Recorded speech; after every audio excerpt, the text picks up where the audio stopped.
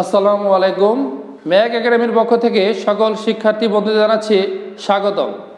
শিক্ষার্থী বন্ধুরা, তোমরা জানা এখনও আমার এই চ্যানেলটিকে সাবস্ক্রাইব করনি, তাদের কাছে অনুরোধ রইল, অবশ্যই চ্যানেলটিকে সাবস্ক্রাইব করবে এবং ক্লাস যদি তোমাদের ভালো লাগে, তাহলে লাইক, কমেন্ট করবে এবং ক্লাস পাশে থাকা বেল আইকনটি এটা চেপে দেবে, তাহলে আমাদের নতুন নতুন ক্লাসটি তোমরা সাথে সাথে পেয়ে যাবে। তোমাদের আমি কোন সম্পর্কিত একটি ক্লাস নিয়েছিলাম আজকে এটি হলো আমার কোন সম্পর্কিত দ্বিতীয় ক্লাস। আমি আহ, ছোট ছোট বিভিন্ন প্রশ্ন নিয়ে আজকে আলোচনা করব। যে প্রশ্নগুলো তোমাদের বিভিন্ন সময় যে চাকরির পরীক্ষাতে এবং বিভিন্ন ভর্তি পরীক্ষায় এই ছোট প্রশ্নগুলো আসে এবং কিছু সাধারণ প্রশ্ন। আজকে আমি সেরকম কিছু প্রশ্ন নিয়ে আলোচনা করব। চলো আমরা পাঠে চলে যাই। আচ্ছা দেখো আমি এক নম্বর একটি প্রশ্ন লিখছি যে এক সরল কোণ সমান কত ডিগ্রি? আমার প্রথম ক্লাসগুলোতে আমি কোণের বিভিন্ন সংজ্ঞা দিয়েছিলাম। আচ্ছা সেখানে আমি বলা ছিল যে এক সরল কোণ মানে যে কোণের পরিমাণ একশো আশি ডিগ্রি বা একশো আশি ডিগ্রি পরিমাণ কোণকে বলা হয় এক সরল কোণ। তাহলে আমরা সেক্ষেত্রে বলতে পারি যে এক সরল কোণ সমান কত ডিগ্রি? তাহলে হবে এক সরল কোণ সমান একশো আশি ডিগ্রি। আমাদের অপশন থাকতে পারে একশো বিশ ডিগ্রি, একশো ডিগ্রি, একশো আশি ডিগ্রি, দুইশো বিশ ডিগ্রি, এরকম একাধিক অপশন থাকতে পারে। তখন আমরা লিখব এক সরল কোণ সমান হলো একশো আশি ডিগ্রি। ওটা আমরা ওটাতে টিক চিহ্ন দেব। আচ্ছা তারপরে দুই নম্বর প্রশ্ন হলো যে সত্তর ডিগ্রি কোণের পুরো কোণ কত? পুরো কোণ কত? তাহলে এক্ষেত্রে অবশ্যই আমাদের আগে জানতে হবে পুরো কোণটা কি? যেগুলোর বিস্তারিত আলোচনা আমি আমার প্রথম ক্লাসটাতে করেছিলাম, তারপরে দেখো আজকে বলে দিচ্ছি। আমরা শিখেছিলাম পুরো কোণ মানে যে কোণের, দুইটা কোণের যোগফল যদি নব্বই ডিগ্রি হয় দুইটি কোণের যোগফল যদি নব্বই ডিগ্রি হয়, তাহলে কোন দুটাকে একটিকে অপরটি পুরো কোণ বলে। তাহলে এই যে এখানে মনে করো দুইটি কোণ আছে, এটা হলো সত্তর ডিগ্রি, তাহলে দুইটি কোণের যোগফল হবে নব্বই ডিগ্রি। তাহলে অটোমেটিক বলা যায়, সম্পূর্ণ যদি নব্বই ডিগ্রি হয়, তাহলে নব্বই ডিগ্রি থেকে সত্তর ডিগ্রি বাদ, তাহলে থাকে কত ডিগ্রি? বিশ ডিগ্রি। তাহলে আমরা বলতে পারি ninety minus seventy equal to twenty degree. তাহলে এখানে আসবে কত? Twenty degree. তাহলে সেভেন্টি ডিগ্রি কোণের পুরো কোণ কত আসবে? Twenty degree. ঠিক আছে? আচ্ছা তিন নম্বর প্রশ্নটি আছে। দেখো, তিন নম্বর প্রশ্নটি কি আছে? সেভেন্টি ডিগ্রি কোণের সম্পূরক কোণ কত? সেভেন্টি ডিগ্রি কোণের সম্পূরক কোণ। আচ্ছা সম্পূরক কোণটা আমরা কি শিখেছিলাম? যে দুটি কোণের যোগফল যদি একশো আশি ডিগ্রি হয়, দুটি কোণের যোগফল যদি একশো আশি ডিগ্রি হয়, তাহলে একটিকে অপরটির সম্পূরক কোণ বলে। তাহলে এই যে দেখো আমাদের, এটা হলো একশো আশি ডিগ্রি বা এক সরল কোণ। এখানে দুটি কোণ বলা আছে। ধরলাম, এই কোণটা হলো সেভেন্টি ডিগ্রি। তাহলে দুটি কোণের যোগফল যদি একশো আশি ডিগ্রি হয়, তাহলে কোন দুটাকে একটিকে অপরটির সম্পূরক কোণ বলে। তাহলে এইটা যদি সেভেন্টি ডিগ্রি হয়, তাহলে এটা কত হবে? একশো আশি minus seventy equal to one hundred তাহলে এটা উত্তর হবে কত? একশো দশ ডিগ্রি। আসার আগে বুঝতে পারছ? আমাদের প্রশ্ন হলো যে সেভেন্টি ডিগ্রি কোণের সম্পূরক কোণ কত? তাহলে সেভেন্টি ডিগ্রি কোণের সম্পূরক কোণ হবে একশো দশ ডিগ্রি। অপশনে আমাদের একাধিক অপশন থাকতে পারে। একশো দশে আমরা টিক চিহ্ন দেবো বা একশো দশের বৃত্তটি ভরাট করে দেব। আচ্ছা তারপরের প্রশ্নটি হলো, দেখো, যে তিরিশ ডিগ্রি কোণের পুরো কোণের অর্ধেক কত? এইরকম প্রশ্ন প্রায়ই আসে, যেটা অনেকেই খেয়াল করে না। যেমন কি বলা আছে, তিরিশ ডিগ্রি কোণের পুরো কোণের অর্ধেক অর্ধেক, দেখো। এটা একটু খেয়াল রাখতে হবে, যে যেমন আমি বের করছিলাম সেভেন্টি ডিগ্রি কোণের পুরো কোণ ninety degree minus seventy degree, আসছে টোয়েন্টি ডিগ্রি। এখন অনেকেই দেখবা তারা হুড়া করে মানে খেয়াল না করে লিখে দিবে, তিরিশ ডিগ্রি কোণের পুরো কোণ, তাহলে একশো কি নব্বই বিয়োগ তিরিশ মানে ষাট, ষাটে দিয়ে দিবে। কিন্তু তা হবে না। কিন্তু এখানে একটা কথা কি আছে? অর্ধেক। আচ্ছা তাহলে যখন আমরা পুরো বের করব, তিরিশ ডিগ্রি কোণের পুরো দেখো। এটা হলো তিরিশ ডিগ্রি।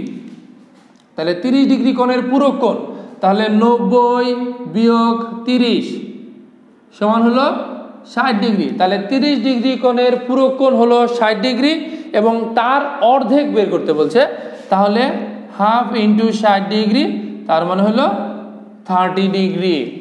তাহলে আমাদের দেখো উত্তরটা কি আসলো? যে তিরিশ ডিগ্রি কোণের পুরো কোণের অর্ধেক, এটা হলো থার্টি ডিগ্রি।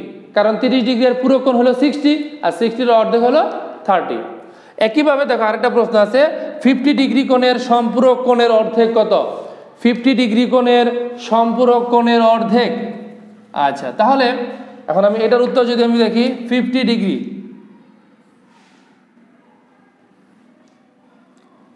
এই যে ধরলাম, এটা হলো ফিফটি বা পঞ্চাশ ডিগ্রি। এর সম্পূরক কোণ, তাহলে ফিফটির সম্পূরক কোণ কত হবে? এই যে এখানে যদি আমরা বলি একশো আশি মাইনাস ফিফটি তাহলে কত আসে? ওয়ান হান্ড্রেড থার্টি তাহলে ফিফটি ডিগ্রি কোণের সম্পূরক কোণ হলো একশো তিরিশ ডিগ্রি। আমাদের বলা আছে ফিফটি ডিগ্রি কোণের সম্পূরক কোণের অর্ধেক এখানে অর্ধেক করতে হবে। তাহলে হাফ ইন্টু একশো তিরিশ সমান সিক্সটি ফাইভ তাহলে ফিফটি ডিগ্রি কোণের সম্পূরক কোণের অর্ধেক হলো সিক্সটি ফাইভ ডিগ্রি এরকম প্রশ্ন আমাদের আসে পরীক্ষাতে, এটা তোমরা একটু খেয়াল করবে। আচ্ছা তারপরে দেখো, আমি একটা চিত্র দিয়েছি। চিত্র দিয়ে একটা প্রশ্ন দিয়েছি যে চিত্রটা ছিল এরকম। এটা হলো থ্রি এক্স এটা হলো টু এক্স এখানে আছে ওয়াই প্লাস থার্টি এখানে প্রশ্ন হলো যে ওয়াই সমান সমান কত? এখান থেকে আমাদের ওয়াই এর মানটা বের করতে হবে। সেটা আমরা কীভাবে করব? দেখো, এটা চিত্র দেখে তোমরা ভয় পাওয়ার কোনো কারণ নাই। খুবই সহজ একটা অঙ্ক। যেমন, এই সম্পূর্ণটা মিলে কত? সহজে যদি আমরা হিসাব করি three x plus two x three x plus two x এই সম্পূর্ণটা কি? দেখো, এই রেখার উপর অবস্থিত। তাহলে এটা কি এক সরল কোণ? তাহলে সম্পূর্ণটা সমান হলো একশো আশি ডিগ্রি। তাহলে এটা হয়ে গেল একশো আশি ডিগ্রি, তাহলে থ্রি এক্স আর টু এক্স ফাইভ এক্স তাহলে এক্স ইকুয়াল টু হলো একশো আশি ভাগ ফাইভ তারপর হলো থার্টি সিক্স ডিগ্রি, তাহলে এক্সের মান আসলো থার্টি সিক্স ডিগ্রি, আমাদের বের করতে হবে ওয়াই এর মান আচ্ছা এখন এক্স যদি থার্টি সিক্স হয়, তাহলে থ্রি এক্স কত হবে? দেখো থ্রি এক্স সমান three into thirty six equal to one zero eight মানে একশো আট ডিগ্রি তাহলে এই কোণটা হলো একশো আট ডিগ্রি। তাহলে এই কোণটা আর এই কোণটা কি পরস্পর সমান? তারা কি কোণ? বিপ্রতীপ কোণ।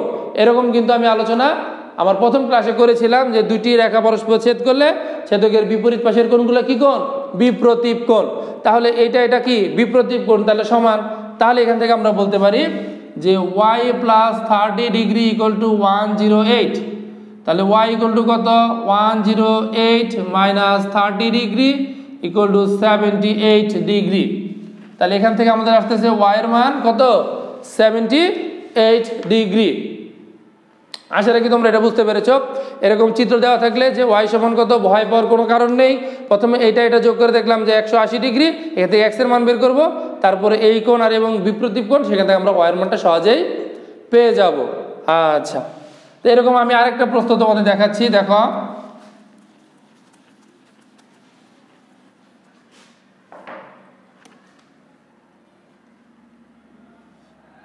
এখানে লিখলাম ফোর এক্স এখানে টু এক্স এখানে জেড এটা লিখলাম ওয়াই এখন এখানে যদি প্রশ্ন বলা হয় এক্স সমান কত ওয়াই সমান কত জেড সমান কত? ঠিক আছে? আবার এটাতে দিতে পারে যে x plus y plus z সমান কত? এটাও কিন্তু আসতে পারে। আচ্ছা। তো প্রথমে আমরা এক্সের কথাটা যদি চিন্তা করি যে এক্সের মান কত ডিগ্রি, সেটা কীভাবে বের করব? ওই যে সেম আগেটার মধ্যে দেখো, এখানে এটা ফোর এক্স আর এটা টু এক্স এই সম্পূর্ণটা যদি যোগ করি, তাহলে four x plus two x equal to একশো আশি degree. Four x plus two x equal to কত? একশো আশি ডিগ্রি। তো এখান থেকে আমরা এক্সের মান বের করতে পারি এক্স ইকুয়াল টু কত? একশো আশি degree by six equal to thirty degree. তাহলে এক্সের মান চলে আসলো থার্টি ডিগ্রি। আমাদের প্রথমে একটা উত্তর আমরা পেয়ে গেছি এক্সের মান কত? Thirty degree, okay? আচ্ছা তারপরে দেখো ওয়াইয়ের মান যদি আমরা বের করতে চাই, তাহলে এই কোণ টু এক্স এবং ওয়াই পরস্পর কি? বিপ্রতীপ কোণ। টু এক্স এবং ওয়াই পরস্পর বিপ্রতীপ কোণ। তাহলে এটা যদি থার্টি ডিগ্রি হয় এক্সের মান, তাহলে টু এক্স কত হবে? টু এক্স সমান টু ইন্টু থার্টি ডিগ্রি, তার মানে হলো সিক্সটি ডিগ্রি। তাহলে আমরা বলতে পারি যে ওয়াই ইকুয়াল টু তাহলে কি আসে? Y equal to sixty degree তাহলে এক্সের মান বের করলাম থার্টি ডিগ্রি ওয়াই এর মান আসলো সিক্সটি ডিগ্রি কেন? কারণ এই যে two x equal to y কারণ এই পরস্পর বিপ্রতীপ কোণ আচ্ছা আমরা যদি জেড এর মানটা বের করতে চাই ফোর এক্স আর জেড সমান, তাহলে ফোর এক্স সমান কত? ফোর ইন্টু থার্টি ডিগ্রি সমান তিন চার বারো, একশো বিশ ডিগ্রি তাহলে আমরা বলতে পারি জেড ইকুয়াল টু একশো বিশ ডিগ্রি তাহলে এখান থেকে আমরা জেটের মানটাও বের করতে পারি যে জেড ইকুয়াল টু হলো একশো বিশ ডিগ্রি। ঠিক আছে? আচ্ছা তারপরে যে প্রশ্নটা ছিল x plus y plus z মনে করো এরকম একটা চিত্র দিয়ে আমাদের এই তিনটা কোনোটাই দেয় না শুধু বলছে x plus y plus z সমান কত? তাহলে কি অবশ্যই আমাদের আগে এক্সের মান বের করতে হবে ওয়াইয়ের মান বের করতে হবে জেডের মান বের করতে হবে, তারপর আমরা তিনটা যোগ করে দেব। ঠিক আছে? আচ্ছা এখন আমরা যদি এই তিনটা যোগ করে দেই, তাহলে দেখো সিক্সটি আর থার্টি হলো নাইনটি ডিগ্রি আর এখানে আছে একশো বিশ। আচ্ছা তাহলে কত হয়? এই তিনটা যদি যোগ করি, দুইশো দশ ডিগ্রি তাহলে x plus y plus z equal to কত হবে? দুইশো দশ ডিগ্রি আচ্ছা এরকম চিত্র দিয়ে আমাদের বিভিন্ন প্রশ্ন আসতে পারে, যেটা বিভিন্ন চাকরির পরীক্ষাতে এই সব প্রশ্ন আসে। তো এই সাধারণ জিনিসগুলো তোমাদের জানা থাকলে তাহলে তোমরা অবশ্যই সেখানে ভালো করতে পারবে। আর যারা চাকরির জন্য বিভিন্ন বই পড়তেছো, তারাও আমার এই ক্লাসটা দেখে উপকৃত হতে পারো। আরও নতুন নতুন বিষয় জানার প্রয়োজন হলে সেটা আমাদের অবশ্যই মেসেজে জানাবে বা কমেন্টে লিখবে। আচ্ছা আমি দেখো, আমি আর একটা প্রশ্ন লিখতেছি। এখানে লিখলাম, এই কোণটা হলো একশো বিশ ডিগ্রি। এখন আমাদের এই জায়গায় কোণ বলছে এক্সের মান কত? বলো তো এটা কত হবে? ধারণা পাওয়া যাচ্ছে? আচ্ছা এটা আমরা কীভাবে করতে পারি দেখো? আমরা অনুরূপ কোণ, কোণের একটা কথা শিখেছিলাম। এই কোণটার অনুরূপ কোণ হলো এইটা। তাহলে অনুরূপ কোণগুলো পরস্পর সমান। তাহলে এটাও হবে একশো বিশ ডিগ্রি। যেহেতু এটা একশো বিশ, তাহলে এটাও একশো বিশ।